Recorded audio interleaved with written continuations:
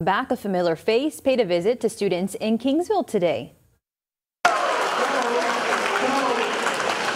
We're talking about Mexican-American actor Pepe Serna. The Corpus Christi native has appeared in more than 100 films and 300 TV shows. He's most known for his performances in Scarface, Silverado, and American Me. He stopped by H.M. King High School today to offer a piece of advice to students.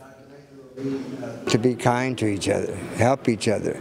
Every, every chance you get, just uh, smile put a smile on your face and, and help somebody through a little bit of a rough, a rough day.